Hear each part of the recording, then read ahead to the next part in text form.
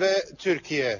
Bu ikisi bir arada değerlendirildiğinde Arap Baharı ya da ayaklanmaları yaşayan ülkeler arasından hiçbiri Suriye kadar Türkiye için önemli değil. Bu çok da derin bir konu. Hatta Suriye'yi biraz incelemeye başladığınızda olağanüstü bir derinlik görüyorsunuz. Ve bir söz Suriye'yi Lübnan Filistin çizgisini bilmeyenlerin Türkiye'nin yakın tarihini anlaması, kavraması mümkün değildir. Hatta bir söz daha Osmanlı'nın hiçbir dönemi yoktur ki içinde Suriye olmasın. Hocam iki lafınızı çaldım buradan söyledim. Bilmiyorum satır başları mıydı bunlar ama iki önemli satır başıydı. Konuklarımız İlber Ortaylı, Masis Kürkçüoğlu ve Gökhan Çetinsay'a Suriye'yi çeşitli boyutlarıyla Kür, Kürkçigil, Masis Kürkçigil, Suriye'yi çeşitli boyutlarıyla ele alacağız.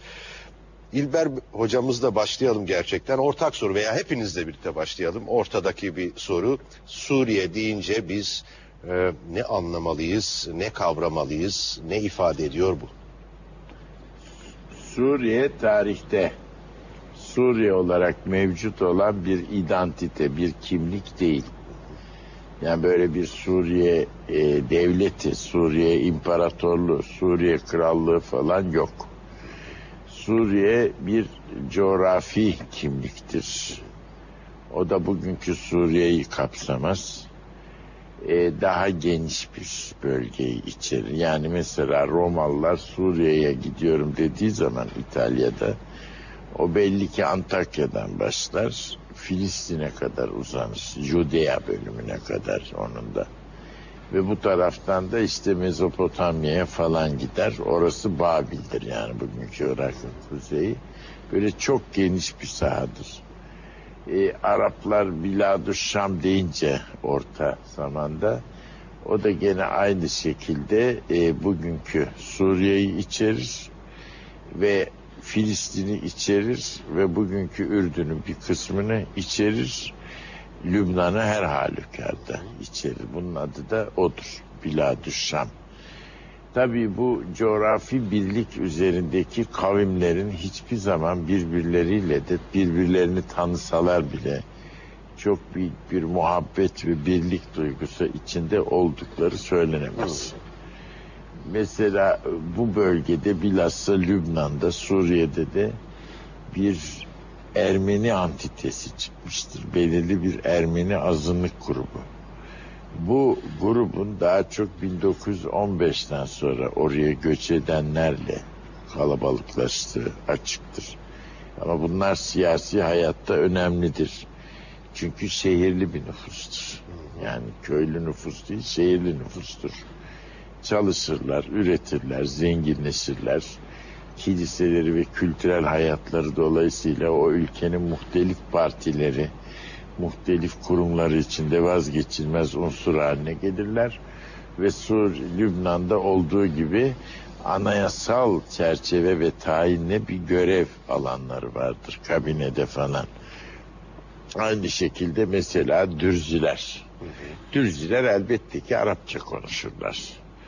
Fakat dikkat ederseniz bu kavmin içinde böyle etrafa benzemeyen fizik çizgiler vardır.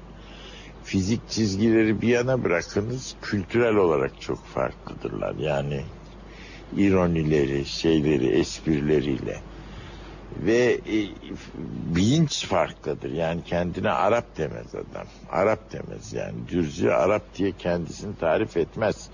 Ve Cebeli Lübnan'ın adı Cebeli Dürüzdür aslında. Hmm. Dürzüler Dağı. Yani Beyrut'un tepesinden bir Zamanında ayrı bir bir Fransızların başlar. ayrı devlet olarak E, koydukları bir Fransızlar onu yani. ayrı devlet olarak düşündüler ama tabii o problemi gene anlayamadılar. Çünkü dürzülük bugünkü İsrail'de, bugünkü Lübnan'da kalabalık ve bugünkü Suriye'de mevcut.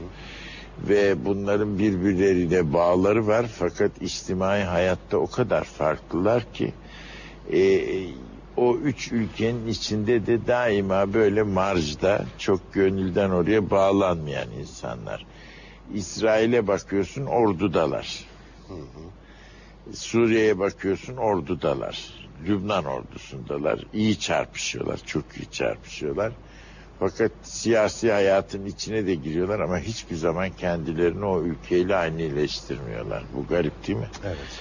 Şimdi onun için ve şeyleri tavırları değişik olmuş. Mesela şimdi gidiyorsun Lübnan'da, Muhtara'da, Dürzi Emir'in şatosuna. Orada gördüğüm bir şey var. Duvarın birisinde Marşal Zülfkoff'un tablosu. At üzerinde. Karşısında Osmanlı arması, mermer. Ve orada Şekip Arslan'ın Osmanlı senatörü yani meclise ayan azası.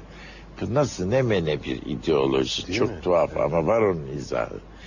1917'de imparatorluk dağılırken bir de bir Arap lideri vardı Şekip Arslan. Otonomi için sadece dikkat edin Arap bağımsızlığı için değil otonomi için ısrarla talepte bulunuyor. Yani biz diyor sıkı iyi tarif edilmiş bir otonomi ve onunla yetinmeliyiz. Yani bu çok ilginç bir yaklaşım mesela. Ve bütün Arap hayatı boyunca mevcut rejimlere küçümseyerek bakmışlar bazen haklı olarak. E, Toplumsal kurumlar itibariyle daima şüpheli bir yaklaşımla ancak idame hayat yaşayabilmek için ona yanaşmışlar. Kanunları çok tuhaf. Mesela sorarsan diyor ki sünni diyor. Hanefi kanunu tatbik ediyoruz diyor. Öbür taraftan şiddetle mesela taaddütü zevcata çok evliliğe izin vermiyorlar. Hiç vermiyor. Yani bu, bu mümkün değil. Bir dürzünün iki üç karı falan alması mümkün değil. Olamaz bu. Evet. Nedir? O görünüşteki kanun uyguladığı şer'i hukuk evet uyuyor etrafa hiçbir sorun çıkmıyor. Arkada bambaşka bir dünya var. Bambaşka kurumlar var olmayan şeyler. Adeta bir ruhban grubu gibi bir ukkal sınıfı var. Ve daha galiba içinde kadın var. Hiçbirinde bulamazsın monoteist dinleri. Kadınlar var yani o kurulların içinde. Sanki Dürzilerin e, konumu Alevilerden veya Sünnilerden daha Efendim, önemli. Çok önemli çünkü şey Aleviler gibi değiller. Çünkü yazılı kitap var, belirli kurallar var, belirli kurumlaşmalar var. Peki. Daha da Aleviler de mesela bizim Alevimiz başka, Suriye'nin Nusayrileri başka şimdi önümüze gelecek. Onların aralarında büyük farklılıklar var. Tabii hiç o kadar yakınlık Ya yok. Affedersiniz bu Maraşel'in üçlemede yerine Maraşel'in fotoğrafı var Deniz Zulkov. Zufkov Ha, meşhur e, Zhukhov'un İk- at Dünya üzerinde Kızıl Meydan'da Ona bir biliyorsun- yorumunuz var mı? E var. Yani düpedüz Sovyet tipi dış politikaya ve komünizme komünist olmadan bir sempatisi vardır Dürzülerin. Bu Çok ilginç bir şeydir. Yani bak hiçbir zaman ne komünist olurlar ne öyle bir parti kurarlar ne içine girerler. Ama Orta Doğu'nun şartları içinde Sovyet tipi politikaya, Sovyet puvarına dünyada hakimiyetine belirli bir sempatileri vardır. Destek kim takar desteği? Belirli bir sempatileri vardır. Bu onları adeta dış dünyadaki siyasi rejimlere karşı tutar. Ama sokağa çıkarsın 18,5 yaşındaki çocuk, dürzü çocuğu. Bu bizim dürzülerin politikacılığı şudur bir araya toplanırlar. Liderimizi destekliyoruz ve alkışlıyor, alkışlıyoruz deyip yola devam ederler diyor. Bunu 18,5 yaşındaki çocuk kendi dünyasıyla, cemaatiyle alay eder gibi söylüyor. Şimdi bu kadar karma karışık bir grubu bir arada ne tutuyor? Binlerce yıl tutuyor. Peki nasıl bunlar bir araya gelmişler? Bana sorarsanız 1917'ye kadar Cemal Paşa'nın niyabeti yani Visra mesabesindeydi biliyorsunuz. Suriye, e, Arabistan ordusu komutanı, 4. ordu komutanı ve Bahriye Nazırı bu biraz Amiral Horthy'nin Bahriye Nazırlığı gibi e, o ünvanlarla oralarda bir kral mesabesinde bulunmasıyla yapabilmiş bunu adeta istemeden. Anladım. Çok ilginç bir şey Yu- ya. e, Zhukov da e, Berlin'i alan 2. Dünya Savaşı'nda Efendim oraya Berlin'i alan ileri en asıl şeysi zaferi temsil ediyor. Çünkü Kızıl Meydan'daki törenin komutanıydı. Ha bir de o var. Yani o zaten engel o. Sosyal olarak başka bir yanı var. Onbaşılıktan Maraşalliğe. E o Ha. Kızıl Ordu Yani, neferlerinin tabii, çoğu yani- gibi. Yani Aman durun bir dakika şimdi. Açılacağız bu kadar derin şey olunca oraya Sovyetlere doğru gittik ucu. Birden. Ee, hem Gökhan Bey'e hem tabii tabii. böyle hani Osmanlı içinde bir özelliği savunması. Evet. Çünkü coğrafi dağılım açısından bir ayrılıkçılık savunması çok zor. Suriye bu. Ve Suriye adını kim verdi biliyor musunuz? Tarihte resmen Osmanlı verdi. Yani Şam'ın başkent olduğu eyalet bugünkü Lübnan'ın da Sidon Sayda kısmını alır. Oranın adı Suriye vilayetidir. Payitahtı da vilayetin Şam'dır. Halep başkadır. Halep bugünkü şeyi içerir. Urfa'yı ve Antep'i Antep'i. içerir. Yani özellikleri de odur. Dolayısıyla bildiğimiz Suriye'nin ortaya çıkışı tamamıyla Sykes-Picot agremanı ve Birinci Cihan Harbi sonrasıdır. Şimdi herhalde Sykes-Picot'a gelip uzun uzun konuşacağız zaten. O Birinci Evet. Dünya Savaşı'nda Suriye'nin paylaşılmasını ve bugünkü Orta Doğu'ya bıraktığı mirası. Ama e, isterseniz e, ben sizin sorduğunuz soruyu Tabii. biraz Lütfen. daha Hala e, devam edeyim. Hocamızın da zaten çizdiği tablodan görülüyor ki Suriye bir medeniyetler beşiği. İçinde çok farklı ırkları, çok farklı mezhepleri, dinleri barındıran bir bütün. Suriye bizim neyimiz olur veya Suriye bize ne ifade eder dediniz ya aslında ait olduğumuz kimliklere göre bu soruya çok farklı cevaplar verilebilir. İşte dünya tarihi açısından bakarsanız gerçekten medeniyetlerin beşiği veya çok farklı medeniyetlerin kesişme noktası. İslam tarihi açısından bakarsanız işte başından beri İslam tarihinin en önemli merkezlerinden bir tanesi malum Emevilerin. Üçüncü diyor hocam Me- Me- Mekke, Medine, Şam Evet. diye düşünüyorsunuz. Yani Kudüs Şam sorun- hayır Kudüs kutsal merkez olarak üçüncü ama e, Siyasi Şam merkez. bizim için siyasi merkez olarak Medine'den sonra gelir. Yani Medine biliyorsun Yasrib'in yeni adıdır. Medine diye. Hiç öyle bir coğrafi ad yoktu, kondu. Ve Medine kök olarak İbranca bir kelimedir. Yani Medine devlet demektir aslında. E bugün mesela İsrail'in adı Republika falan değil yani Medinat İsrail. İsrail devleti çok yani bu böyle bir ünvan. Anladım. E Siyasi Şimdi oradan olarak. sonra Şam'da kuruldu tabii İslam devleti. Yani çok büyük ölçüde o Emevi imparatorluk. devleti yani Ya ve Şam halifeleri ilk zaman Farsça, Pahlevi ve Rumca yani şey Grekçe kançılaryaları vardı. Hatta ünlü şey e, Damasken, Ioannis Damaskenus diye bildiğimiz Şamlı Yahya ki Hristiyan azizlerinden hagiografinin babası falan. O halifenin şeyi de orada memurdu babasıyla birlikte sonradan Marşaba'ya Evet. çekildi. Ee, İslam tarihini vurguladık. Ee, Türk tarihi açısından bakalım. İlginç. Bu e, Abbasi sonrası Orta Doğu ve Avrasya coğrafyasında malum işte ufak devletler veya büyük devletler yani ama büyük bir imparatorluk yoktur artık. Burada Türklerin rolü başlar. Ee, aşağı yukarı Anadolu'ya geliş tarihiyle birlikte Orta Doğu'ya geliş de vardır. Mesela ben birkaç sene önce e, Kudüs'te bir toplantıya katıldım. Adı başlığı şu. Orta Doğu'da Türklerin bin yılı.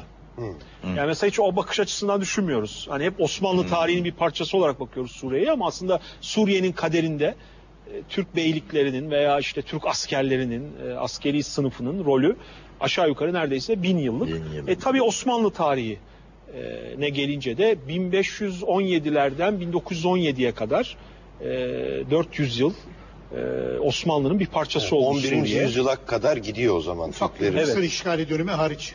Hı. O biraz karışık bir durum evet. 8 yıllık bir O da ilginç. Mesela Anadolu tarihi açısından da bir anlamı var. E, baktığınız zaman e, İran'ı, Anadolu coğrafyasını ve Mısır coğrafyasını elinde tutan güçler binlerce yıllık tarihte birbirleriyle bir rekabet veya savaşlar düzeni içinde olmuşlar.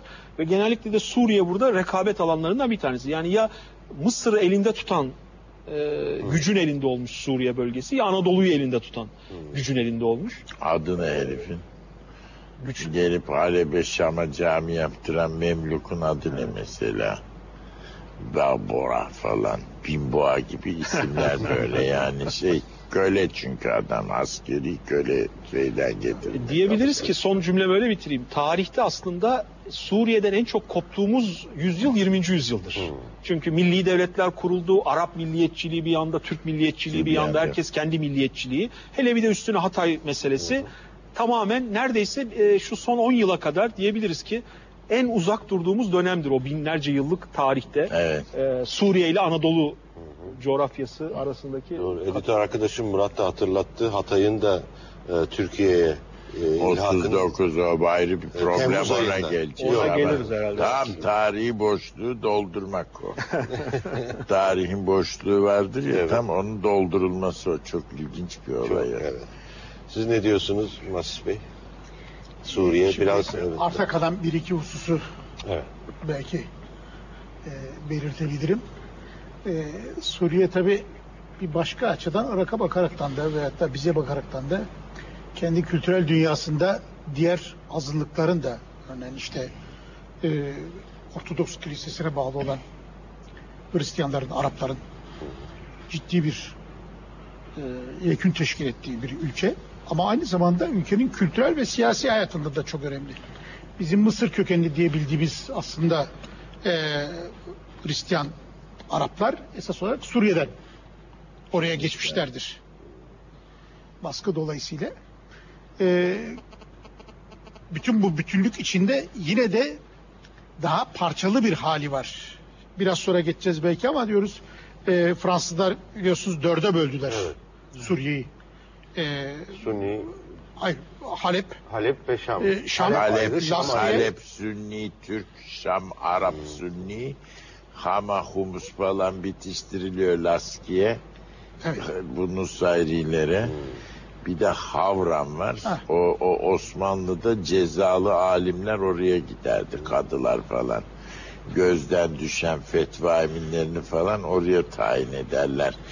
Azap çektirsinler diye dürzülerin mıntıkası çünkü. çok Havran naikliği çok Yani denebilir ki zaten Fransız sömürge politikası hem tahribat yarattı hem meseleyi anladı anlamadı. Böyle bir e, bağlamımız olacaksa pek anlayamadı. İşte bunu bir tür bölerek bir çözüme zaten Büyük Suriye'yi biraz önce hocamın anlattığı gibi Bölmüşler. üstüne bir daha bölerekten sorunları asgariye indirmek tabi olmadı. Çünkü nihayetinde tarihten gelen bir e, süreklilik söz konusu. Ama bunun içinde bunun içinde hala bu e, farklı kültürleri de birlikte e, dıştalamadan barındıran bir ülke olabilir mi diye sorusunu şimdi sorabiliriz. Neden? Uzun süreden sonra yani Sünnilerin egemenliğinden sonra Alevilerin egemenliğinden sonra bugün sonunda geleceğiz herhalde. E, muhalefetin yükselttiği protestolarda sanıldığın aksine mezhepçi veyahut da etnik sloganlardan ziyade daha birlikçi sloganlar var. Yani bütün azınlıkların da haklarına riayet ederekten bir tür vatandaşlık bilinciyle Modeli. bir dönüş var. Yeni bir evrede miyiz? Onu şu anda bilemeyeceğiz muhakkak ki ama e, belki de diyelim ki bir Ürdün'de, e, bir Mısır'da mesela Mısır'da Kıptiler vardır diyelim ki yüzde on oranında, Suriye'de yüzde onunda Hristiyanlar var ama bu tarihe daha fazla nakş olmuş vaziyettedir. Yani bu Baas Partisi'nin teorisyeni Michel Eflak. Evet, kurucusu bir Hristiyan değil mi? Evet. Sonunda Hristiyan olarak ölmedi. Saddam onu Bağdat'tan Müslüman olarak gömdü ve dedi ki yani e, sonunda bunu kabul ettiği çünkü Müslüman mezarlığında gömülmüş vaziyette ama onunki e, bir kültürel mesele de denebilir. Çünkü Müslümanlığı Arapları birleştirecek bir Zaten Hart en iyi görüyordu. İslam medeniyeti tarihini Hristiyan Araplar yazar. Kural odur. Yani e, popüler olsun George Zeydan gibi. Yahut işte şimdi Albert çok Turani. beğeniyorum Turani. Veyahut efendim yo e, George şey söyle mesela Butrus El Bustani. Efendime söyleyeyim daha modernler gel bu tarafa doğru mesela. E, Hitti yahut efendim Charles İsavi falan bunlar hepsi Hristiyan Araplardır. Eğitimleri ona uygundur.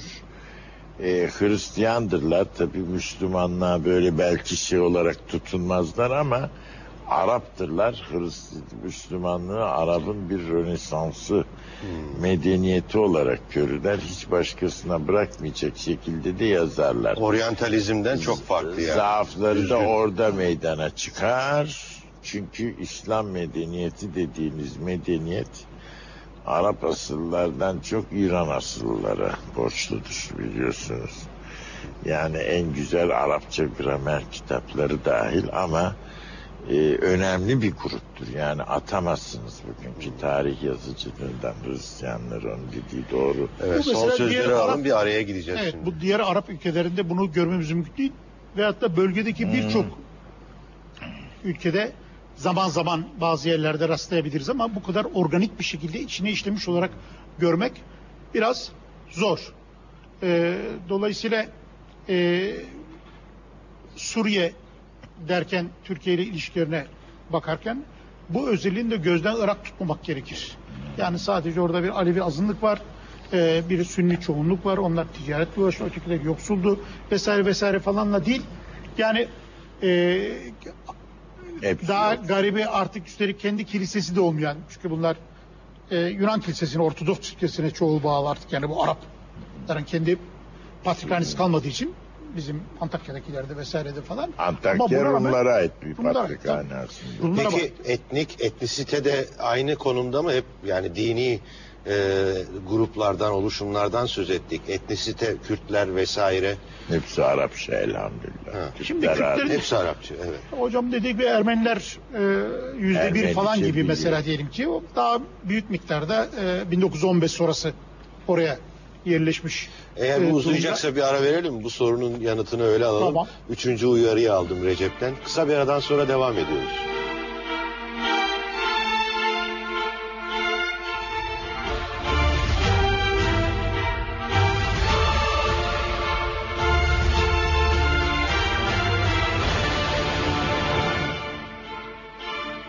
Tarih konuşmalarının koskoca bir başlığı var Suriye.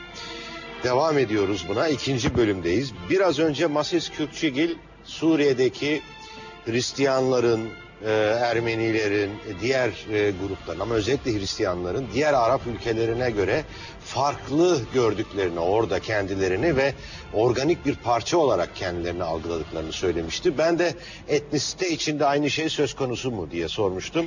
Ermenilerden başlamıştınız. Yani Ermeniler 1915 sonrası olduğuna göre e, Şehirli. tabiri caizse bir o tarihin kurucu bir unsur olarak mesela Dürüzlerle kıyas kabul etmez. Çünkü onlar olmadan Şehirli Ermeniler Şehirler tamamen şehirli. var. E, keza Kürtler için de yani bir darbe yapmış general devlet başkanlığı yapmış olan bir general vesaire var ama onlar da ülkenin politik hayatında, kültürel hayatında bir ağırlığı olmuş dersek biraz istisnaları kural haline getirmiş oluruz. Ee, O zaman içselleştirme etnisite olarak pek yok. Genelde din, o e, harç. Darbe yapan generali biliyorsun değil mi? Şişaklı. çiçekli, Şişaklı. Şey diyemiyorlar. Ha, evet. çiçekli soyadı biz çiçekli diyoruz ona şişakli diyorlar tabii şeyi okuyamadıkları için Evet. Araplar. Ee, dolayısıyla diyebiliriz ki burada bir miktar Yahudi bulundu. Şimdi tabii Golan Tepelerinde Suriye toprağı ama orada ya bir yerleşim yeri var. Her zaman için bir miktar Çerkez var tabii uzun zamandan beri. O Yüzyıllardan beri diyelim ki. Ee, Onlar Mithat Paşa'nın yerleştirmesi. Hiç az değiller. değiller. Yani Mithat Paşa iki yıl kadar valilik yaptı. iki yılda yaptığı Çerkez yerleştirmek bütün o havaliye. Ve biliyorsunuz değil mi? Falih Rıfkı anlatır. O nerede Söğüt görürsen orada Çerkez köyüdür. Anadolu'dan gelme.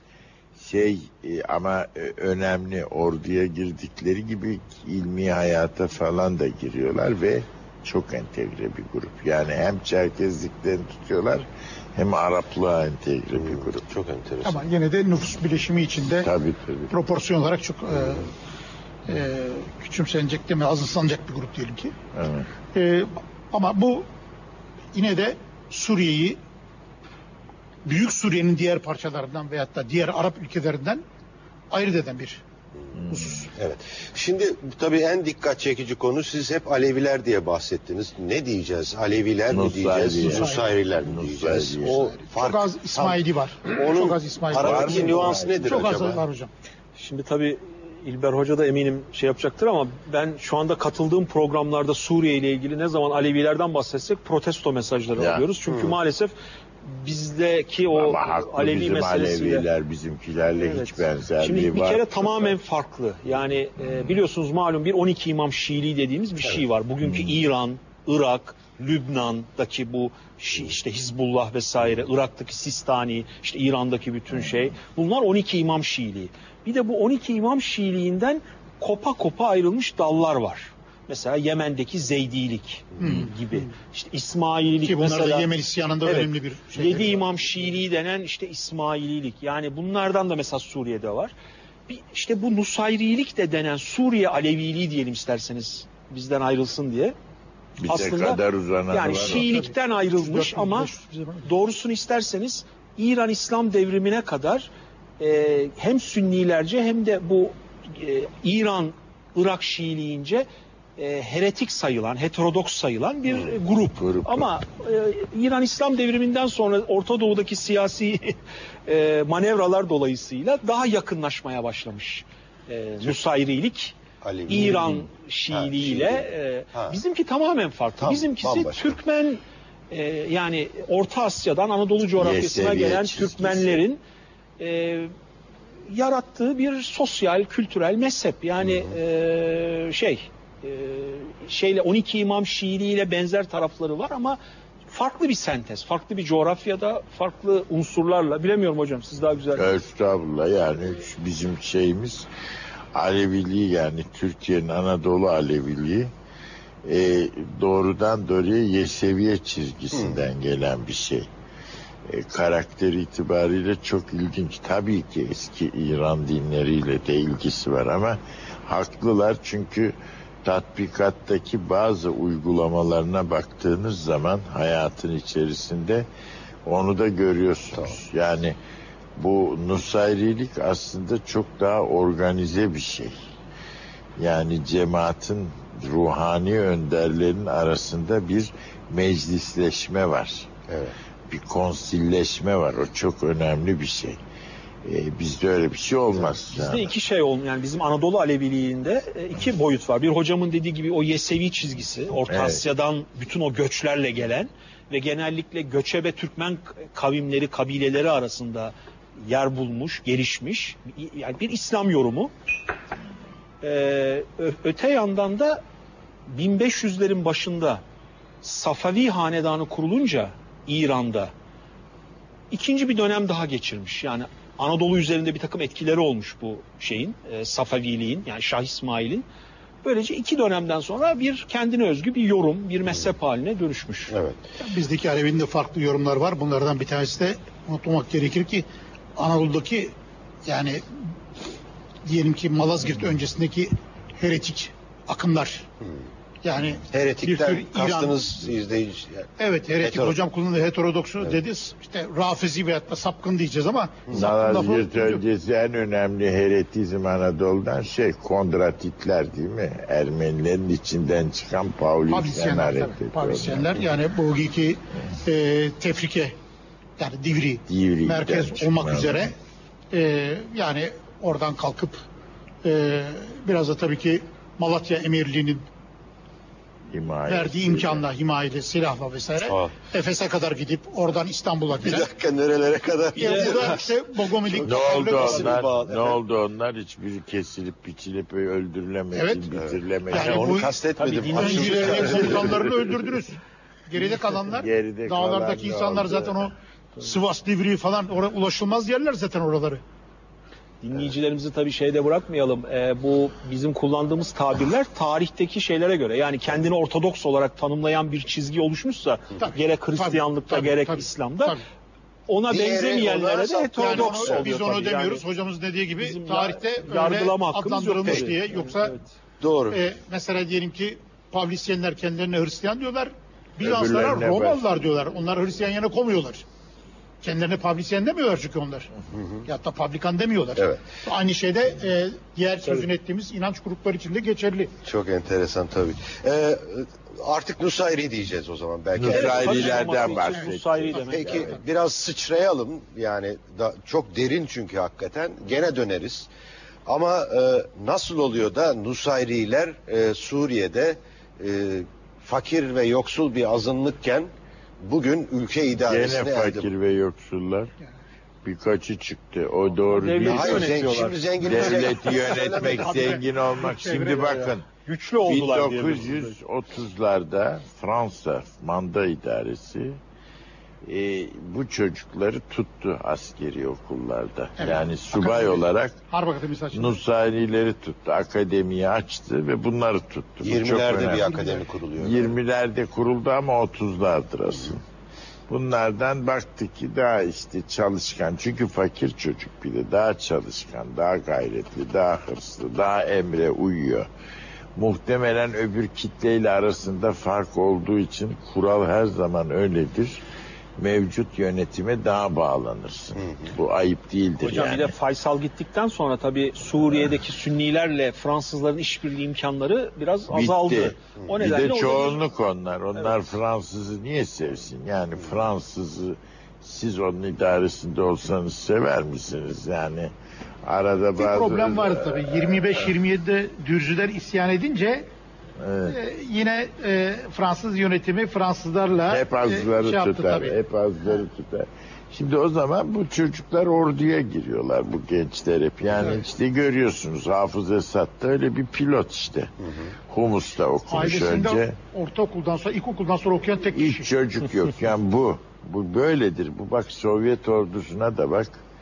Müslümanların en çıktığı yer çıka çıka şeydir. Askerliktir ve pilotluktur. Yani Sultanov pilotluk vasıflı bir şey hocam. E niye? Çünkü adam ölümüne gidiyor. E, Mesela şey vardı. Graf bilmem ne ikinci harpte öyle harpte şeyler vardır. Şimdi geliyor Almanların nişancısı Messerschmitt'le kont bilmem ne falan. Buradan da Sultanov çıkıyor Azerbaycanlı. Bunlar kapışıyorlar gökte. Millet bunları seyrediyor. Bir nevi o ilkel kabilelerin savaşçılarının şey. Sultanov bunu vuruyor. Öbürü paraşütle atlayıp kurtuluyor.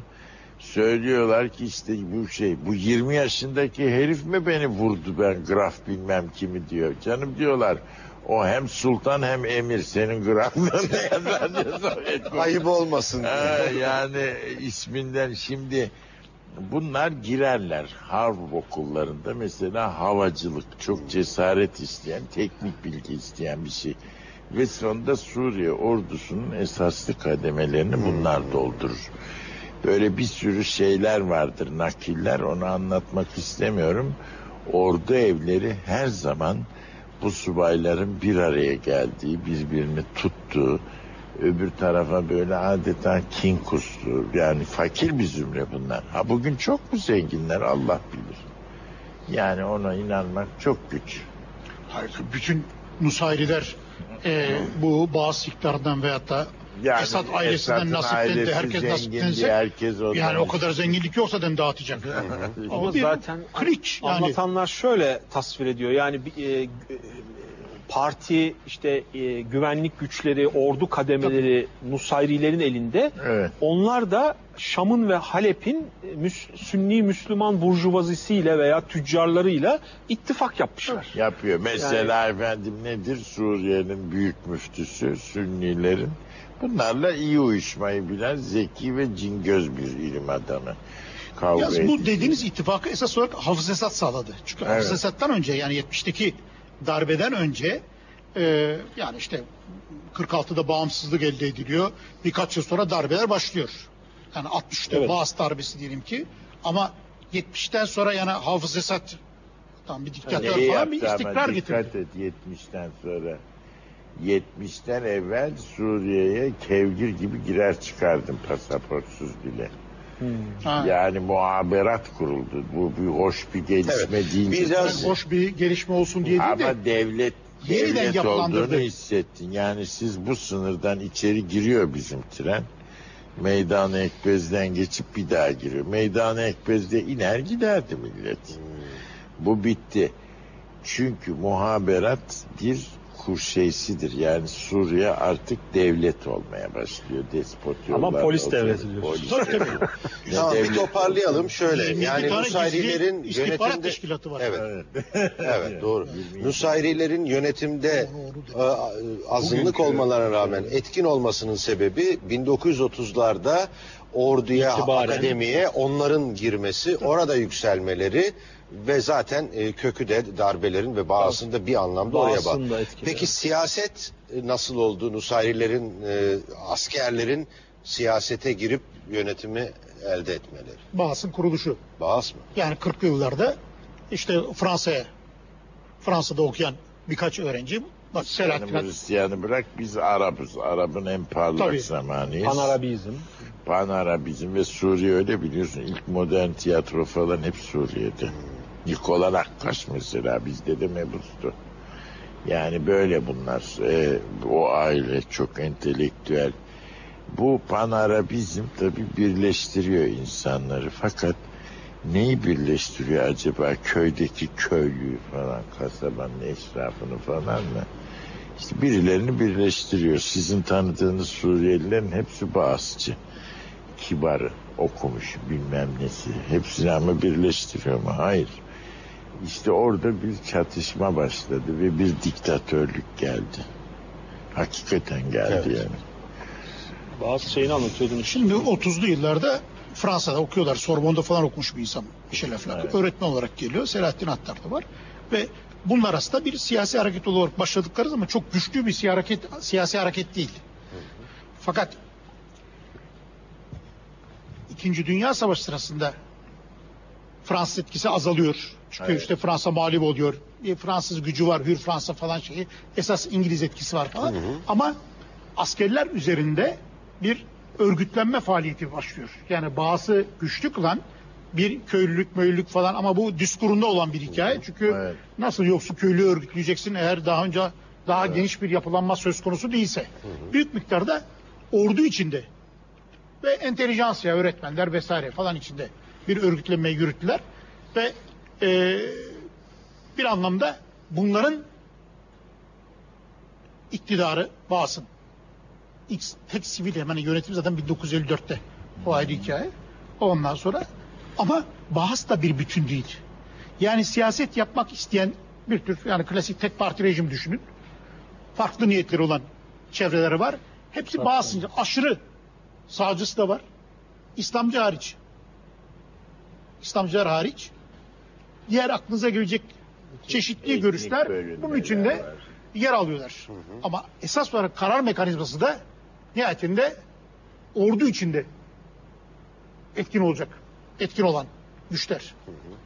Ee, bir de tabii bu apayrı bir konu ama unutmamak gerekir ki o dönemde bu işe prestij kazanan bir Arap milliyetçiliği hareketi var. Nasır başta Evet. olmak üzere. Yani böyle bir projektör olmadan e, Bağız gelişemezdi. Hmm. Ne Mısır'da, ne pardon Irak'ta ne Suriye'de. Çünkü Nasır dünyanın merkezi gibi bir başka. Üçüncü Kafa dünyacılığın tutuyor. merkezi. Değil mi? Güya. Fransa'ya evet. Tabii. Yani. 56 Onu sonra ödettiler, Ödettiler adama ama yani işte. Bağızçılığın birkaç ayağı var. Belki hani a- nedir bu bağızçılık diye sorulduğunda bir tanesi Panarabizm, Arap Panarabizm, milliyetçiliği. tabii. Kuvvetli bir Arap milliyetçiliği bu. Radikal bir Arap milliyetçiliği. Tam bağımsızlıkçı ve anti-emperyalist tabii bir Arap milliyetçiliği. Çünkü sadece Fransa'ya, İngiltere'ye karşı bir Arap milliyetçiliği değil. Bu aynı zamanda o koloni idaresi sırasında o koloni yönetimiyle işbirliği yapmış ama geleneksel Arap milliyetçisi olan kuşaklara karşı da çünkü. Evet. Yani onlar onlar da Arap milliyetçisi bu 19. yüzyılın Türkleri, sonunda. Türkleri sevmiyor. Ha, o, Yani Türk dönemi külliyen silip atıyor. evet. Mesela Bağızçılar ama. Ba- Bağızçılar. Halka topluma bakarsanız sizin bir izleniminiz vardı. Son yıllarda özellikle Vallahi ben Türkiye'ye karşı muhabbet. 63'te bir gittiğimiz vakit ihtiyar Araplar binci trenin nerede Osmanlı'yı dediler. gerçekten Çünkü ortada devlet yok, canları çıkıyor. Evet. Ve vergilerde eşitlik var. Yo yo son bir belgeselinizde Türkiye'ye bakış çok farklı diyorsunuz Evet. ve Türkçe'ye eğilimi var. Yani Türkçe Ay, şimdi kurslara var tabii evet. çünkü. Şimdi burada aslında bizim 27 Mayıs benzeri Arap dünyasında da böyle bir suç Evet, çizgisi var. evet, evet. Dikkat edin e, 27 Mayıs'a kadar Türkiye'yi yönetenler 1900, 1880 doğumlulardır aslında. Atatürk'ün neslidir. Celal Bayar neslidir. Ama 27 Mayıs'tan sonra Türkiye'de yönetimi ele alan kuşak 1920 doğumludur. 20. Bugün de Doğru. temsilcileri var. Türkiye- Paşa'nın orada yaptığı temizlik gibi bir kadro oldu. Evet, evet, Arap evet, dünyasında çok ilginç bir ara geleneksel Arap milliyetçisi kuşak vardır. 1880'lerde Kim doğmuş. onların başında? Abdülhamid'in damadı Ahmet Nami. Onu ilk reisi cumhur yaptılar biliyorsun 20'lerde.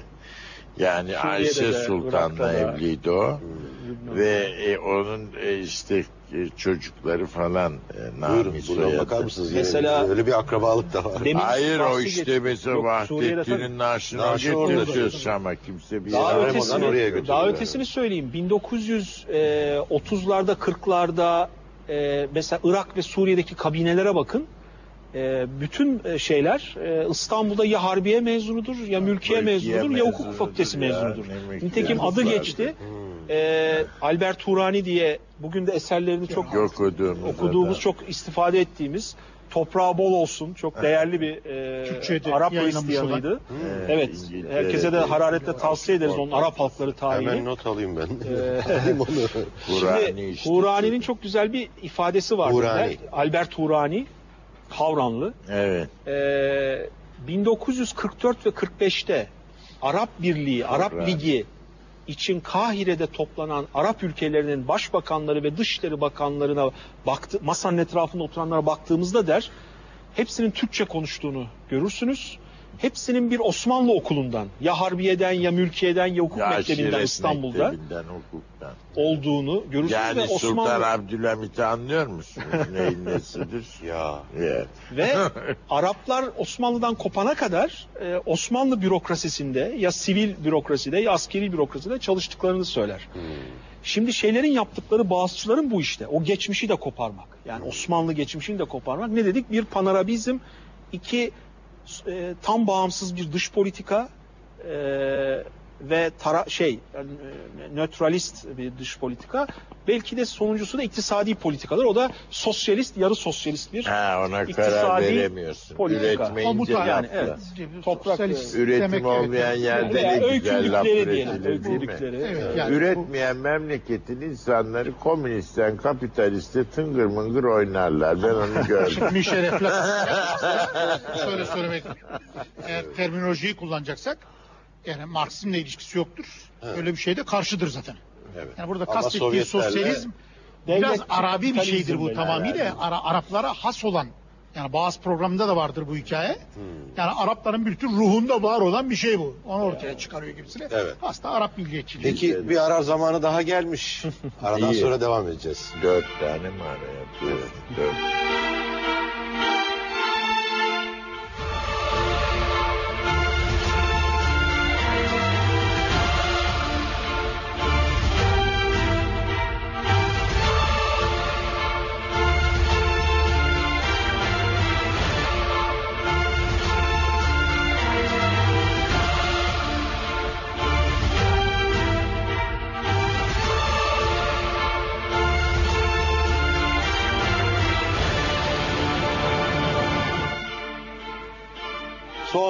Güncel olaylar nedeniyle, tabii ki komşumuz olması nedeniyle, tabii ki tarihi derin ilişkilerimiz olması nedeniyle Suriye'ye bir girdik.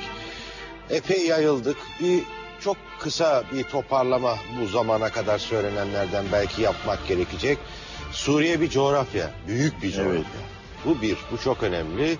Filistin'e kadar uzanan, Lübnan'ı kapsayan çok büyük bir coğrafya. Bugünkü sınırlarla alakası yok. Tarihsel Suriye. İkincisi evet e, Arap ülkeleri arasında içindeki farklı dini unsurların kendilerini Arap olarak benimsedikleri ya da gördükleri sayılı yerlerden birisi ve e, Türklerin burada çok derin bir tarihinin olması, Osmanlı'nın iz bırakması ve de bazı bilmiyorum kabaca bu. Bir kronoloji yapmak gerekir mi? Yani 11. yüzyıldan hatta belki Roma, e, Fars değil mi? Roma, e, Helenistik En çağ. yakın şey şimdi biliyorsunuz Roman işgali. Ondan evvel Büyük İskender'den alalım. Milattan önce 300'ler. Şimdi İskender ölüyor. İskender'in bu havalide coğrafya olarak Aleksandretta yani bizim İskender'in oraya katacağız siyaseten hoşa. yani kendileri bile istemez oradaki Arapça konuşanlar. Oradan sonra ne oluyor? 332 değil mi ölüş? Şimdi şeye kalıyor. General Selevkos'a veriliyor bu bölge. General Selevkos'un zamanında Suriye lafı duyuluyor. Yani şey olarak kullanılıyor tabi. Ondan sonra ne oluyor? Roma devrimi başlıyor. Bu tabi birkaç asır sonra olan bir şey. Roma dönemi Suriye için büyük bir refah dönemidir. Tabi arada şöyle şeyler var falanca veya filanca faali için. Roma'dan geldi fakir bir konsüldü, zengin Suriye'ye geldi. Zengin bir konsül olarak fakir Suriye'yi terk etti falan diye vergi ama burası zengin. Palmira, Buğday bayrağımız var. Palmira oranın kervan Ne şeysi kadar falan. olağanüstü bir yer hocam o Çok Palmira. güzel. Bütün- İnanılmaz yani. Şimdi bak keşke bir Suriye'ye olarak coğrafya şimdi olarak göreceksiniz bizim gelen bize. Şimdi orada Antakya Müzemiz var. Dünyanın en zengin mozaik, Mozaik müzelerinden biriydi. O yetmedi, Zögma çıktı. Evet. O yetmedi, Urfa'nın ortasından çıktı. Şimdi Maraş'tan da çıkıyor. Evet. Yani böyle mozaik turu falan yapacağız yakında. Bu o zenginliğin kuzey tarafı. Yani bu Suriye ile Türkiye'nin kesinlikle bir kere çok da iyi arkeologları var. Para yok. İşbirliğine falan girmesi lazım. Yani bizim bunu yapmamız lazım bunlarla.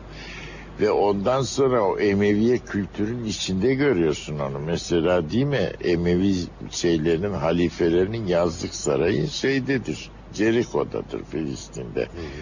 Kirbet şeyde neler var orada değil mi? İran. Rum mozaikleri falan, çıplak kadınlar hatta falan böyle bir Evet. şey yani e, e, enteresan bir e, kültür bu coğrafya. Çok, zengin. enteresan. Roma'da Diller kalmış. değişik. Şimdi Roma tabi buraya refah getiriyor. Anadolu'ya getirdiği gibi. Bu Anadolu'nun da zenginlik dönemi Roma'dır aslında.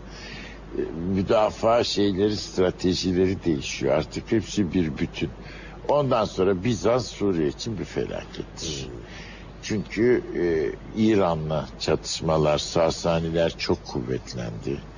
Bir kere aldılar biliyorsunuz. Heraklius bir daha geri aldı. Bunlar hepsi İslamiyet'in zuhur ettiği, intişar etmeye başladığı dönemin hemen arifesi.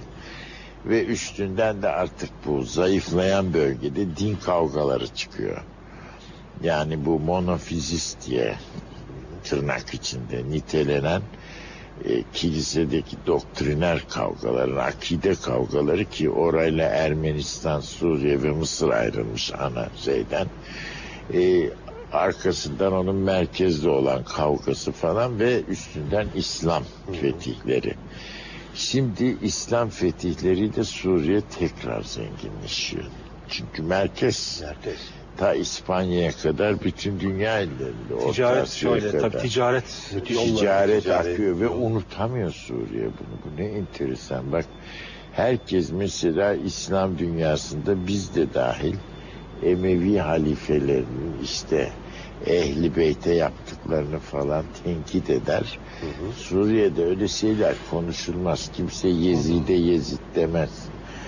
Kimse yani harcacı, zalime, zındık falan demez. Sert vali der yani. Bu çok önemli. Ve şu espriyi kullanırlar mesela Irak'a vali gitmiş şey takımına. E, Şii diyeceğimiz o zaman değil ya takımı ezmek için ey ehli Irak, ey ehli nifak vel firak demiş. Yani bir yandan Haccac'ın yaptıklarına işte fazla gidiyor diyor ama öbür tarafa da bunlar da az değil demeye getiriyor yani. Suriye Emevidir. Ondan sonra Memluklar üzerine. Ve o tamam. Fakat Osmanlı döneminde Suriye'nin büyük bir şikayeti yoktu. Ta ki 19'a geldik. İşte ora mühim. Milliyetçilik denen ideoloji dünya İdeoloji üzerinde zuhur geldi. edene kadar her şey Evet, güzel. geldik o zaman. Etmek lazım ki Suriye'de en geç başladı. Ama evet. çok kuvvetli Kavvakabi falan yani Arap Suriyeli Arap mütefekkirler en okkalları değil mi? Öyle değil mi yani? Öyle diyebiliriz ama karşılığı mesela diyelim ki toplumsal karşılığı itibariyle baktığımız Kimse takdirde yani 17'den sonra falan artık. Şey yani yok, 17'den Duman, sonra hayır, hayır. Sykes, Mr. Sykes'ı lütfen okuyalım. O çok enteresan bir seyahatnamesi var onu biliyorsunuz. Evet. Birkaç İçinde tane hatta. iki şey beni çok çekmiştir. The Caliph's Last Heritage, halifenin son mirası. Tanesi bir Türk kaymakam tipi tarif eder. Herif batı dili bilmez, batıya gitmemiştir, batı hayranıdır. Onu böyle büyük bir şeyle, ironiyle yazar. İkincisi şehirler. Çünkü o 20 yıl, 10'ar yıl aralıklı Suriye şehirlerini gördü. Ve Hamidiye döneminde Suriye şehirlerinin kaydettiği zenginliği, düzelmeyi anlatıyor ki kesinlikle Anadolu'nun önünde. Eğitim de öyle. Yani unutmayın bakın Şam'da tıp fakültesi açtılar. Beyrut'ta hukuk fakültesi açtılar. Bir sürü okul. Yani şimdi oraya Amerikalısı, yolunda. Fransızı geliyor ama bizimki de açıyor okul tedbir olarak. Ve dediği gibi Hicaz Demir Yolu Şam'la şeyi bağlıyor birbirine. O bir merkez yaratıyor tabii. Yani bir şey de unutma yalnız Suriye idaresi de en iyi koruduğu şey yani Suriyeliler koruyor demir yolu mirasını da en iyi. Biz kendimiz dahil hepimiz var. Kültürel mirasa da çok ciddi bir Birinci Savaşı'nda var yani. Osmanlı kayıp sayısı Suriye'de kayıp sayısı yanlış hatırlamıyorsam 300 bin falan. Bizim askerler- hastalıktan Tabii, ölen, tabii. can şolan falan diye. Peki 1917 oradayız artık. O çok önemli. Ba- e, şey Faysal'ın ba- Şam'a yürümlüsü mü? Yok Orada? daha e, Ama Osmanlı'dan 1918. kopuş, evet. Evet. Şimdi isterseniz e, 17 Osmanlı'dan kopuş. şimdi değil mi? A- Arap milliyetçiliğini Arap isyanına sonra da Faysal'a bağlayalım. Hı hı. Şimdi Arap milliyetçiliği çok tartışmalı bir konu. Biliyorsunuz her e, milli grup, her milliyet kendi milli devletini kurduktan sonra kendine bir milli tarih yaratır. Bu Arap milliyetçiliği de Türkiye için de olmuş. öyledir. Biz tarihçilere düşense biraz şeyleri ayıklayıp e, gerçeği bulmaya çalışmak. Türkler yarattıktan sonra yaratılanı yazmaya kalkarlar ve eksik yazarlar. Arada fark odur yani. Biz başımıza geleni yaşarız. Yaşadıklarımızı sonradan yazmaya kalkarız. Abul but işte o kadar yazarız. Şimdi 1930'larda ortaya çıkan e, Arap milliyetçiliği görüşü şuydu. 19. yüzyılın ikinci çeyreğinde Arap milleti bir uyanışa geçti. Eski kendi klasik kaynaklarını, dil, edebiyat vesaire buldu ve buradan işte Arap Hristiyanları da burada önemli bir rol oynar. Misyonerlerin de açtıkları okulların ve ya- yarattıkları kültürel ortamın etkisiyle özellikle Suriye, Lübnan Tabii bölgesinde Beyrut'taki Cizvitlerin açtığı kolej, Amerikan Mektebi. Onunla bağlı olarak Antep'te açtıkları Onlar zaten o şeyler. Ve burada Ertuğrullar. büyük bir Arap milliyetçiliğinin doğduğunu ve işte bunun da e, Arap isyanıyla birlikte Arap milli devletlerinin kuruluşuna yol açtığı söylenir. Daha sonra işte yine adını bugün çok sıkanıyoruz ama Albert Turani gibi ikinci kuşak e, Arap tarihçilerinin ve onun yetiştirdiği öğrencilerin vurgulamasıyla 1960'larda bu görüş değişmeye başladı. Ve bunun tamam böyle bir şey var ama bu böyle halkı etkileyecek e, bir e, Arap milliyetçiliği değil. Arap milliyetçiliği bu yeni görüşe göre aslına bakarsanız e, daha çok e, Osman Arap topraklarının çeşitli yerlerinden gelmiş ve İstanbul'daki e, işte Mektebi Mülkiye'de, Harbiye'de, hukuk mektebinde okuyan e, öğrenciler arasında veya 1908 parlamentosundaki mebuslar arasında başlayan siyasi bir hareket. Tamam ideolojik kökeni var gerçekten de Arap edebiyatı, Arap kültürü vesaire ama bir siyasi hareket olarak ortaya çıkması aslında düşünebiliyor musunuz? E, birbirini hiç görmemiş Arap mebusları veya Arap öğrencileri Burada bir araya Yemen'den geliyor. bir araya geliyorlar. Meselelerini tartışıyorlar. Aa diyorlar Arnavutların da benzer sorunları varmış veya işte e, başka milletlerin de Siyaseti burada öğreniyorlar. İdeoloji var. Evet. Ama Ve- o çok normal. Or- Tabii. evet yani Herkes siyaseti Yani o Rusya manada- Türkleri nerede öğrenmiş? Petersburg'da, Moskova'da. Yani Medine'de e, Hicaz'da Gitmiş. çıkmış bir şey değil doğrusunu isterseniz. Ama e, Osmanlı'ya karşı bağlılıklarını da koruyorlar. Tek istenen otonomi veya desantralizasyon aslında çok bakarsanız. çok hilafet. Hilafet Arap olmalıdır. Buna Hmm. cesaret ediyor. Onun bir şeyi var. Birinci Dünya Savaşı'nda ise iki birkaç şey oluyor. Yani bu en azından bu e, e, askeri ve sivil aydınlar, bürokratlar, Arap aydınları bağlılıklarını koruyorlar aslında Osmanlı'ya. Yani bir şeyleri var, dernekleşmeleri falan ama bağlılıklarını yitirmiyorlar. Fakat Birinci Dünya Savaşı ile birlikte yollar ayrılıyor ve birkaç şekilde ayrılıyor. Bir tanesi e, Sykes-Picot meselesi. Nedir Sykes-Picot?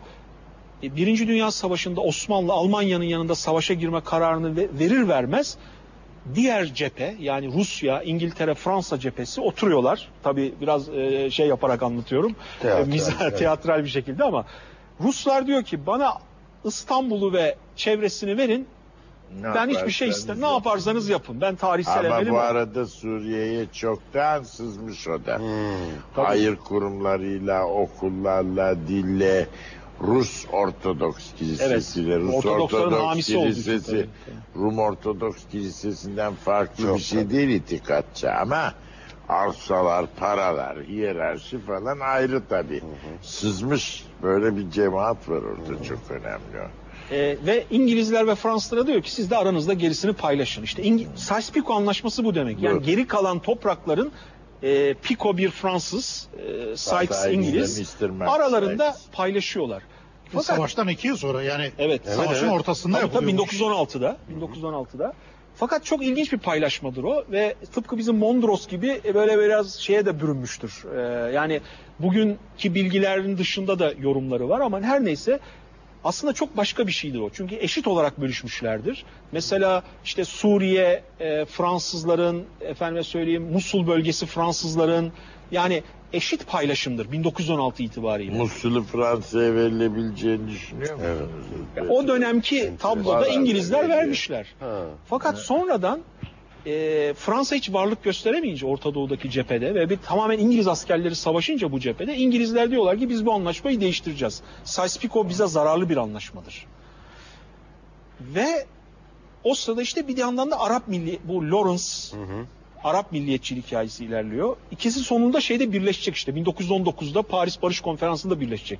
O yüzden şimdi müsaade ederseniz şeyi anlatayım. Bu e, Arap isyanı meselesi yani 17 Lawrence. ama bizimkiler artık çoktan Tabii. gidip Fransa ve bilhassa İngiltere ile ve Rusya ile hatta görüşmelerin başladı. ayrı bir Tek anlaşma barış. yapalım diye Rusya ile falan ve şeyler de hem devletin adamları hem de dışarıdaki liberaller yani kim Sabahattin falan gibi tipler böyle Prens Sabahattin. Lawrence biliyorsunuz Kahire'deki Arap bürosunda çalışan bir subay. subay. Bu Sykes-Picot çerçevesinde bütün amaçları e, Arabis Arap bölgelerindeki e, bir, bir isyan çıkararak Osmanlı'yı zaafa uğratmak, cephe gerisinden e, vurmak. Bunun için çalışıyorlar. Ama bugün bizim kamuoyunda veya işte milli eğitim sistemimizde veya insanlarımız arasında zannedildiği gibi aslında bir Arap isyanı yoktur. Yani ne kastediyorum? Arkadan Şam'ın, bıçaklama bir şehir efsanesi. Şam'ın, Bağdat'ın insanları manasında, Ürdün'ün kasabalarının, köylerinin manasında bir Arap isyanı veya böyle arkadan hançerlenmiş bir Arap isyanı yoktur. Nedir Arap isyanı dediğimiz şey? Şerif Hüseyin ve oğullarının işte Faysal, Abdullah gibi daha sonra Geniş Irak'ı ve geniş şeyi yönetecekler. Bedi, e, Hicaz emir, emiri ve oğullarının Arabistan'daki Bedevi kabilelerini kullanarak Osmanlı Osmanlı, ordusu. ordusuna isyanları. Saldırısıdır Evet. aslında yani. Ama çok Yani şey Arap milletinin bir. Evet, isyanı değil ve başta da hocam başarısız olur aslına bakarsanız. Yani bir süre Lawrence dahil kimse umduğunu bulamaz bu isyandan da. Sonra altınlar gelir sandıklarla falan Ha, değil mi? yani o Lawrence filmini izleyenler Lawrence ama şey Lawrence filminde ama görüyorsun onu. Filmi yapan adam katiyen Arapçı değil. Ha. Değil evet. Peter değil. şey Tam aksine imparatorluğun oradan çekilmesi bir felaket diye bakıyor. Yani o Türk İmparatorluğu'nun bir bakışı o. Ben bunu bir ihtiyarlarla seyrettiydim Viyana'da. Burada yasaktı. Kanaat, ah efendim ah bu iş böyle olur. Biz çekildik de ne oldu falan diyorlar. Şu Çekya'nın Macaristan'ın haline bakın falan dediler. Şimdi orada mühim olan bir şey. Bu çok bilgili bir herif biliyorsunuz. Çok. Yani Arapçasını, Türkçesini, arkeolojisini bırak. Odysseus ve İlyada'nın çevirilerinin de iyileri buna ait. Yani böyle bir herif o. Kimliği katiyen Britanya değil. Nefret ediyor. Kişisel sebeplerde.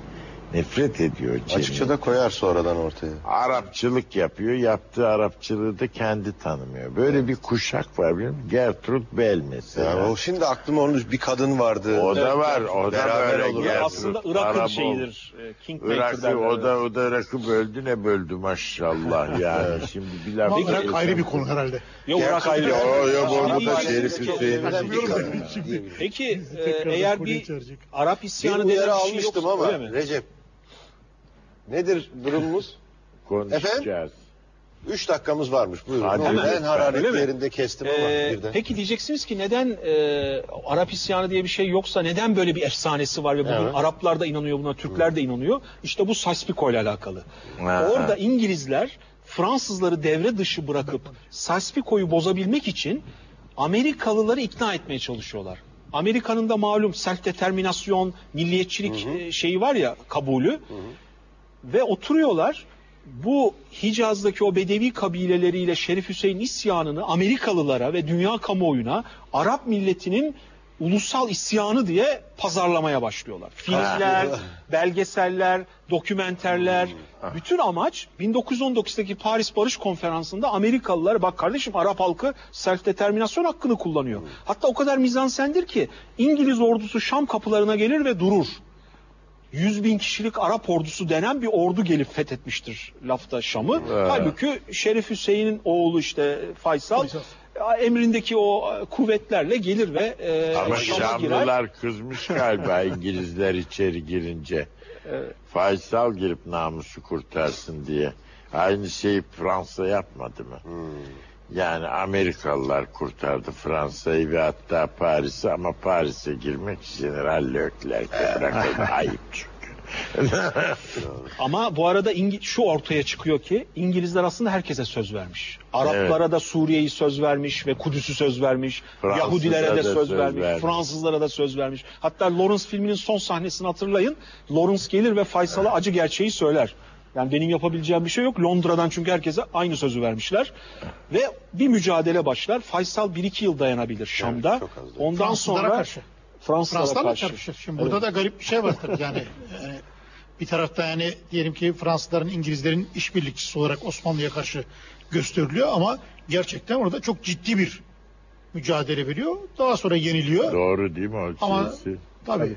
Evet. Faysal gidiyor Irak'a kral oluyor. O da ayrı hikaye. Irak- Irak. Düşünebiliyor musunuz? Şii çoğunluğun yer olduğu Suriye'yi bir Irak Irak'a tercih ederim tabii kral olacak. bir de işin ilginç tarafı hesap tutmaz. Şii çoğunluğun olduğu bir Irak'a işte Faysal'ı zorla kral yaparlar. Bu sefer kardeşi Abdullah boşta kalır. Abdullah için de Ürdün'ü yaratırlar. Ürdün'ü yaratırlar. Yani- Transjordan. Evet o tarihlere geldik. Biraz da Bağız dönemini ele alacağız. Zaten son e, döneme kaldı. Son bölüme kaldı. Hem de bir toparlayacağız aradan sonra.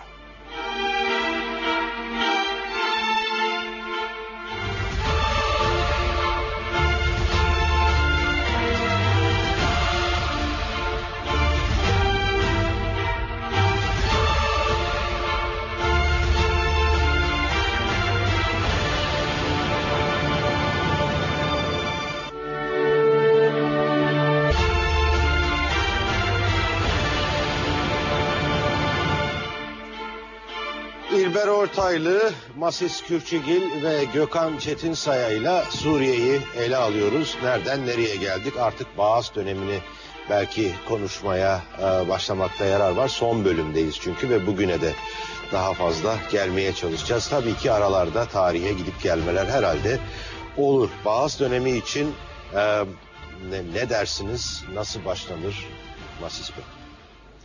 Şimdi tabi Bağız dönemini Arap Milliyetçi Hareketi'nin yükselişiyle birlikte ele almak gerekir. Ee, bunu hem Cezayir Ulusal Kurtuluş Hareketi yani Ahmet bin Bella hareketiyle daha sonra bu medya vesaire ama önce tabii yükseliş dönemi önemli olduğu dönem diyelim ki Ee, ve tabii Nasır'la birlikte ele almak gerekir. Unutmamak gerekir ki çünkü e, Bağız bu etkiyle aynı zamanda Mısır'la Birleşik Arap Cumhuriyeti'ni kurdu. Evet. Başarısız bir girişimdi ama bir üç yıl falan mı devam Sürdü. etti? Sürdü. Hiç unutmayız. Başarısız bir girişim. Meşhur e, Büyükelçilik baskını e, Hasan Fehmi Güneş'in Evet. İçişleri Bakanlığı zamanında o orası Ankara'daki Mısır. Birleşik Arap Ha o Cumhuriyeti. kaldırmadı. Hala duruyor mu? Ay şöyle. Şimdi bu 58 yılı bu biliyorsunuz. Bazı aslında e, sosyalizm, sosyalizm değil. Yani böyle e, üretmeyen ekonomide bir devletçilik var. Bizde de vardı. Fakat maalesef keyfi uygulamalar oldu. Yani öbürkünden vergi almıyor. Berikinin fabrikasını, işini teşvik ediyor, öbürünü batırıyor. O Nusayri dedikoduları o zamana aittir. Kısmen doğrudur. Bir de bir tarafı vardı tabii dış politikada bu anti Amerikan ve anti İngiliz Britin, Britanik dediğimiz tavırlar dolayısıyla Rusya'ya yönelme. Çünkü işte Fransa ve İngiltere kazık atıyor. İhracat oraya yönelik. Ne o ihracat? İşte tahıl, incir bilmem ne. Size almıyoruz sizinkini. Yok bilmem ambargo uyguluyoruz. Yahut vergi meselesi. Rusya oluyor kredi açıyor, düşük faiz falan. Biz yapacağız diyor Fırat üzerine barajları bilmem neleri. Halid el Azm yani o zaman gitti 58 yılında başbakan. Çok güler yüzle geldi böyle Allah kendisine ne vaatler neler falan. E sonu fena gitmedi ama pek bir şey de çıkmadı. Kolay değil yani Rusya'nın da bütün bir ekonomiyi beslemesi. Ve o devirde en önemlisi asıl 57'deki bu gezinin üstünden bu hava içerisinde bunlar Nasır'ın güzel politikaları, Mısır'daki görünen değişmeler falan Mısır'la birleştiler. Birleştiler ama Mısır ve Nasır çok büyük bir hata yaptı. Çünkü cevherinde yok. Bağızçıları küçümsemeye başladı. Laklakan. Suriyelileri Birleşik Arap Cumhuriyeti yönetiminde neredeyse küsürat bir konumda Evet bıraktı çünkü yani. böyle tanımıyor. Tanımıyor. Dosya tutmamış. Ne kötü bir şey. Devlet adamısın, Arapçısın, milliyetçisin, pan Arabisin. Herifin dosyası olmadığı anlaşılıyor yani o anlamda. Böyle bir şey olabilir mi? Ve e, insanları nitelemeye başladı. Bazısının laklakçıları. Evet görünüşte öyle ama hepsi öyle mi bakalım? Filozof takımı falan dışta tutmaya başladı ve bazı buna dayanamaz. Ve tabii bu şeyleri zedeledi muhtemelen Nusayriye'nin ordu takımına. Sonra Suriye ordusunun asker olarak Mısır ordusuna hayran olması için bir sebep yok yani. Ne olacak ki hep ayağı Hani niye olsun işte hepsi başarısızlar dediğin gibi o zaman daha büyük facia yaşanmamıştı. Aynı şey, 68 savaşı ama e, yani görünüşte de işte vay bu da ne adam falan diyemiyorsun yani öyle bir şey yok. Ve bunlar kavga etti ayrıldılar. Ama Mısır o hatıra adına işte o sizin dediğiniz üç yıldızı taşımaya devam etti. Çünkü bir de Yemen dahildi biliyorsunuz. Yani. İki yıl sonra o hayal yeniden canlandı. Bazı Evet. kez Irak'ta e, başa Ortaya geçince e, yeniden bir Arap Birliği çabası Evet. sürdü bir iki yıl ama o e, sonuçlanmadı. Kimse yedirmez petrolünü Irak'ın. Parayı tutan öbürüne biraz böyle şeyden bakmaya başlıyor. Dolayısıyla bazı e, kendi çevresi için diyelim ki aşağıdan yukarıya bir akışkanlık sağladı, yükselme Evet. imkanı sağladı. Bu gerçek. Hatta e, şu anda adını unuttum ama bir yabancı yorumcunun söylediği bir laf var. Bazı kendi zaferinin kurbanı diyor. Yani eski elitlerin yanı sıra kendi elitini yarattı. Yer yer onlarla birleşti. Ama artık başlangıçta o sözünü etti işte köylülere toprak, herkese şöyle şunu bunu ve hatta tırnak içinde sosyalizan vaatler berhava oldu. Aksine kendisi zenginleşti. Ve meşruiyetini de kaybetmiş oldu. Çünkü bir vaat iyi kötü geniş kesimler için bir vaat varsa bir meşruiyet kaynağı olabilir bu. Ee, dolayısıyla 1860'lı yıllarda üst üste bu tür siyasi darbeler yemiş oldu. Başarısızlıklar üst üste gelmeye başladı ve nihayetinde tabi Arap-İsrail Savaşı bu siyasi tırnak içindeki hayallere bir son Çok verdi. kötü. Bu açıdan Altı gün hakikaten. Büyük bir e, travmadır tabii değil mi? Savaş ülke başlarken bütün Arap cemaati bir görecekler falan. Üç gün sonra herkesin suratı düşük. Yani Arap milliyetçiliğin aslında bitişi o 1967. Çok fenaydı. İdeal olarak Teoriler değişti. Şeyde değil de ideal Şanlı olarak. Arap önce şöyle oldu. Emperyalizm bizim ahlakımızı bozmuş.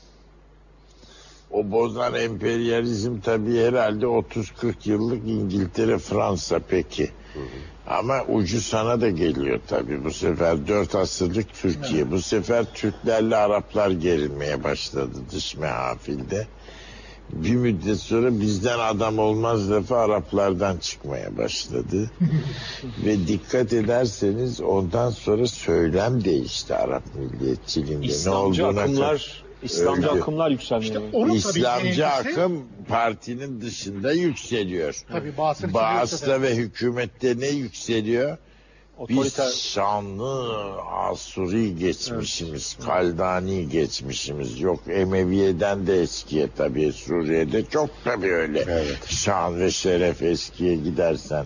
Mısır'da Firavunluğa kadar gitti. Bu Bağdat'ta sefer şey- sizin dedikleriniz Firavun diye yuh çekmeye başladılar. Dolayısıyla diyebiliriz ki Hafız Esad'ın gelmesiyle Baas radikal bir dönüşüm geçirdi kendi içinde. evet.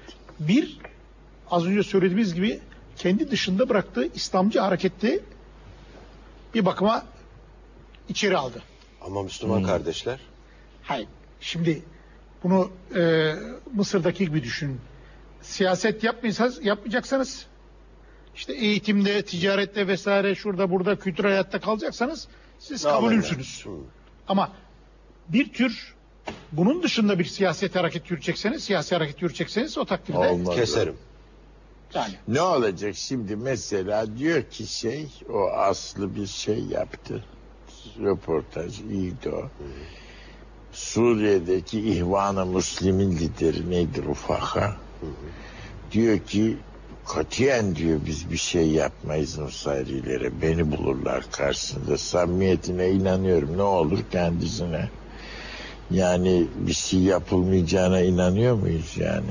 Hocam yalnız araya şunu sokmak türlü- koymak lazım. Belki de bu Baas'ın yenilgisinden sonra biraz hızlı gideceğiz ama şimdi diyelim ki 70'li yıllardan itibaren Arap milliyetçiliğin çöküşüyle bu coğrafyada diyelim ki hem bir taraftan otoriter rejimler ama bir taraftan da diyelim ki İslamcı hareketlerin yükselişi unutmamak gerekir ki son 10-20 yılda da İslamcı hareketlerde de bir düşüş oldu. Onlar da Kesinlikle. bir inandırıcılık durumuna girdiler. yani Dolayısıyla işte. Mısır'da gördüğümüz örnekten hareket edersek ki Suriye'de Ne benzer bir durum olacak. yani? Mübarek'in partisiyle anayasa oylamasında beraber davrandılar. Sokağa en geç çıkan hareket. Çok İhvan, akıllı. Müslüman kardeşler. Çok akıllı da. Ee, dolayısıyla öyle diyelim bundan bilmem kaç sene önce söylediği gibi 5 sene 10 sene çünkü Mısır'da da herhalde bu 7-8 senelik bir kesin dönüşüm. Müslüman kardeşlerin. Dünyayı daha- tanımışlardır. Zamanın ruhu başka zaten. Yani turistlere saldıran bir tavırdan buraya kadar geliyorlar. Sulsever görünüş. Bu çok akıllı bir davranış sokağa geç Bununla sınırlı değil. Bunlar da bazısınkine benzer bir şey de yaşadılar. Bunlar da aşağıdan geldiler. Yoksul insanlara seslendiler. Sonra Mısır'da olduğu gibi bunlar da ticaretle işte bize en ithalatlar, güzel şey- ihracat derken Mısır'da görüyorsunuz. Mısır Suriye değil daha sefil. Yani dağılım farkı daha Evet. büyük. Daha- Daha büyük ve kitle yani geniş kitlenin hayatı çok daha zor. Mısır tabii mütecanis bir e, şey, şey ülke. değil, çok yani Hem şey öyle- değil zor. yalnız bir de Şimdi ne hiçbir- yapıyor da Ne biliyor musunuz? O bir İhvan-ı Müslim'in başı. Yani insanlar hakikaten yıkılacağı belli binaların içinde de oturuyorlar ve o binalar hep yıkılıyor altında birileri kalıyor. Kahire'de tabii mezarlıkta da yatıyor. Kahire'de o, İskenderiye'de o, başka yerde zaten yok işte. Herkes orada oturuyor. Gıda sorunu var. Yani Suriye'de kimse gıda sorunu çekmiyor. Ondan sonra efendime söyleyeyim, e, insanların hakikaten hekimi yok, hocası yok, bir şeysi yok. Ve İhvan-ı Müslim'in insanlara o mezarlıkta, mezarlık lüks mahalle efendim, daha neler var, türbeler yani birinci sınıf bir tıbbi hizmet götürüyor. Yani, Mısır'ı konuşuyoruz değil mi? Evet. Suriye'ye Yani o Suriye'de böyle bir Suriye'de şey yok. yalnız fena ezildiler. Yani Hama Suriye'de katliamı şey- olayı vardır. Yani Evet. Mısır'da- Çünkü millet şey yapmadı. Yani e, tamam karşıya gelen tank, tüfek, top falan tutuyor ama bana kalırsa İhvan-ı Müslim'in Suriye'de sağlam değil temeli. Yani öbürü kadar yer etmiş değil can Ama Mısır bahasına. sivil topluma açık bir yer. Toplum, yani doğru. Bütün o baskıya rağmen Mısır'da gelişen bir sivil toplum Sivil var. toplum Suriye'de var. öyle Yok, bir şey şey yok. mümkün değil. Evet. Bir de bu İhvan-ı Müslim olayında hocam dedi ya Suriye'deki İhvan-ı Müslim liderin dediğine inanılır mı diye. Ben şöyle inanılır diyorum. Hayır adama Bunu- inanıyorum da ne olursun Ee, adama Mısır- çok inanıyorum. çünkü çok zamanın ruhu adam. denen bir şey var. Yani mesela Mısır için de bunu konuşmuştuk. Şimdi e, bu şeye benziyor. Bizim bu Müslüman kardeş hareketiyle bildiğimiz şeyler 60'lı yılların sonunda ve 70'li yılların başında bir takım ideologların söylediğinden ibaret. Ben de muhataplarıma şunu diyorum. Türkiye'deki İslamcı hareketi şu anda 1969'daki bir Erbakan'ın beyanıyla veya Necip Fazıl Kısaküre'in 77'de söylediği bir lafla değerlendirebilir miyiz bugün gelinen noktayı? Yani öyle bir büyük dönüşüm var ki zamanla Türkiye'nin değişimiyle. Yani Mısır'daki, Suriye'deki, İhvan-ı Müslümin'deki değişmeleri de böyle Evet. görmemiz lazım. O bizim Yani bu donmuş... AKP'leşme süreci anlaşılır bir şeydir onlar açısından. Evet. Yani E, globalleşmeye ettikleri entegre e, olmak. yani. Böyle bir şey söylenebilir. Bu neyi çözer, ne eder meselesi ayrı. Bir de mesela gene Hafız'ın e, politikası, o, işte PKK politikası, Öcalan'ı yıllarca orada tutması. Buna ne denir? Bunu da hatırlamakta Hepsi mutlaka. iflas ile bitti. E, öyle ama. Ve o bize sırada, zarar verdi bak o sırada o sırada tabii bizim belki durum çok müsait değildi yani ben onu öyle düşünüyorum. Yani o tip bir fiili müdahaleye Türkiye herhalde hazır değildi. Bilemeyiz yani burada konuşmak kolay olur ama siz düşünün ki o sıra Türkiye canı yanmış ve giriyor içeri. Öcalan'ı kuvvetli yakalamak için falan. Bir başkası yapar. Ne olacaktı durumları? Yani siz öyle bir manzarayı düşünün. Girmiş içeri Türk ordusu Öcalan ve PKK'yı kovalıyorum diye. Ne olacağını biliyor musunuz? Yani ne kadar aslında saçma da bir politika. Evet yani onun Yani ne bunlar var? böyle Abi, Hamade Humus'ta şeyi öldüreceğim diye İhvan-ı Müslim'ini şey, İki boyutundan bahsedebiliriz. Bir tanesi e, direkt Türkiye-Suriye ilişkilerini ilgilendiren boyutlar olabilir. Hatay'dan beri gelen bir Su mesele var. var. Su meselesi var. su işte Ama bir de şeyse ak, akıllısı. uluslararası politika boyutu var. Yani unutmayalım ki İran İslam devrimi ve Afganistan'ın Sovyetler tarafından işgali sonrası Orta Doğu'da bütün kartlar tekrardan karıldı. Bir de Camp David e, işte Mısır evet. şeyi. Ya o tabloda e, dikkat edin bizde ihtilal oluyor ve hemen arkasından Türkiye tekrar Amerika'ya entegre oluyor bu Evet. süreçte. Evet. Tekrar e, NATO'nun ve Amerika'nın en önemli müttefiki haline getiriyor. Çünkü Amerika İran'ı kaybetmiş. Amerika Afganistan tehlikede. işte Suudi Arabistan yandım Allah diyor vesaire.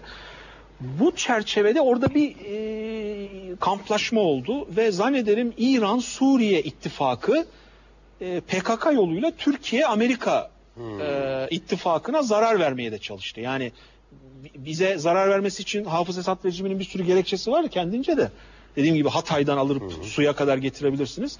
Ama bir de o anda Orta Doğu'daki kamplaşma dolayısıyla yani bir yanda Türkiye-Amerika e, bloğu veya Suudi Arabistan bloğu, diğer tarafta işte İran-Suriye bloğu diye yorumluyoruz. Tabii aradan geçti bu kadar sene. Evet. Geriye dönüp baktığımız zaman eğer sorunun kendisine bakacaksak yani ortada Hafız Esad da yok. Suriye'nin durumu da Değişti. e, değişti ama bizim Kürt meselemiz maşallah ortada tosun gibi duruyor.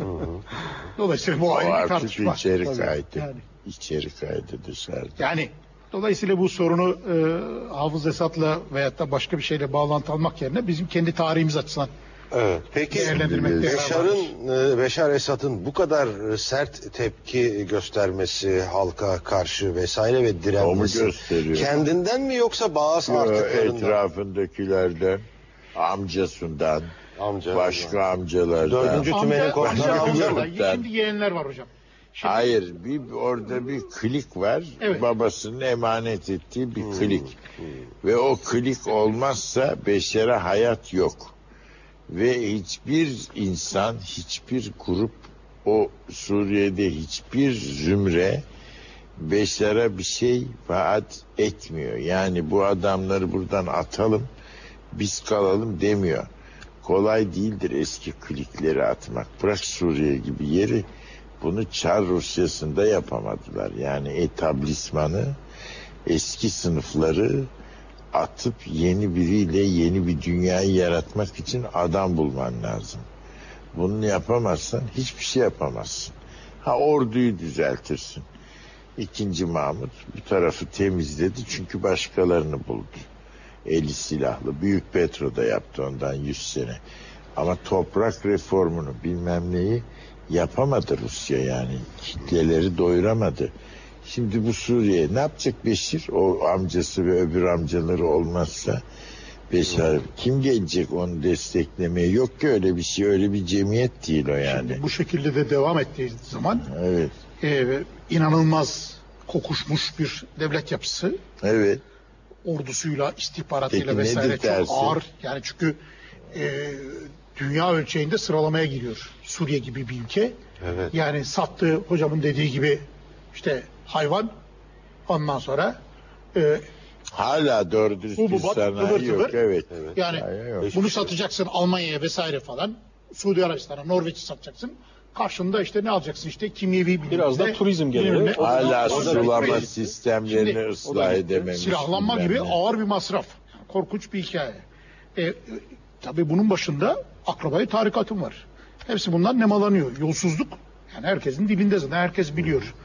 Yani bir hava alanındaki duty free şirki şeyinden işletmesinden aklınıza gelecek her türlü yani beyaz eşyadan e, iletişim işte telefonika bilmem ne gibi benzer şeylere kadar her şeyi denetleyen bir holding. Veya komisyonla Ve şey alan, bu holding ekonominin yarısından fazlasını denetliyor.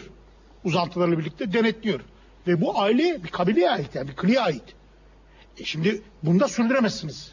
Çünkü millet Ondan korkuyor. vazgeçtiği an ne olacak ama işte o, o şeyi veremezseniz o mekanizmayı ve o, o cesareti veremezseniz ona Hocam bu olur. haklısınız. Arap Baharı'nın iktisadi cevabı yok. Hiçbir ce- Ama şey, desteği yok. Sosyal ve siyasi olarak da olmaması mümkün değil. Yani orada bir açmaz var. Yani Evet. artık dünyanın geldiği bu İşte ortamda o olan şey nasıl bir bahar getirecek? Bahar mı gelecek? iktisadi olarak bir- kötü bir bahar getirecek ama e, Erken siyasi bir- ve sosyal Yok, olarak da insanlar buna çok az bir zamanımız kaldı. Ee, bundan sonra ne olur hızla bir e, konuşabilir miyiz hocam? Soruları hep en kötümser ihtimallerle koyacaksınız. Bu kötümserlik değildir. Yani böyle bir hava var burada da. Böyle istenen wishful thinking. Böyle temennili tarih. Böyle olmaz bu. Yani bunlar gidecek, o gelenler daha iyi olacak. Ne biliyorsunuz? Yani gelen adam da bu sefer kendi klikleri, kendi haydutları, kendi diktatoryasıyla gelir. Çok önemli bir şeyi hepimiz kabul ediyoruz. Bu toplumlar üretmiyor.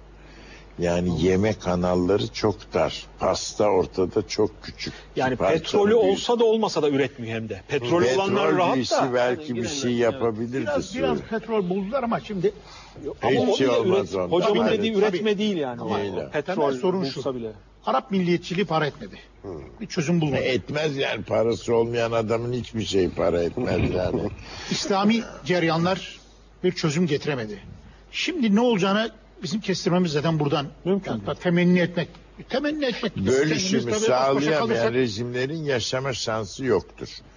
Ya bir şey yoktur bölüşemiyor yahut da aşırı adaletsizdir. Kendine göre kapalı bir kas sistemi gibi bir örgütlenmesi vardır.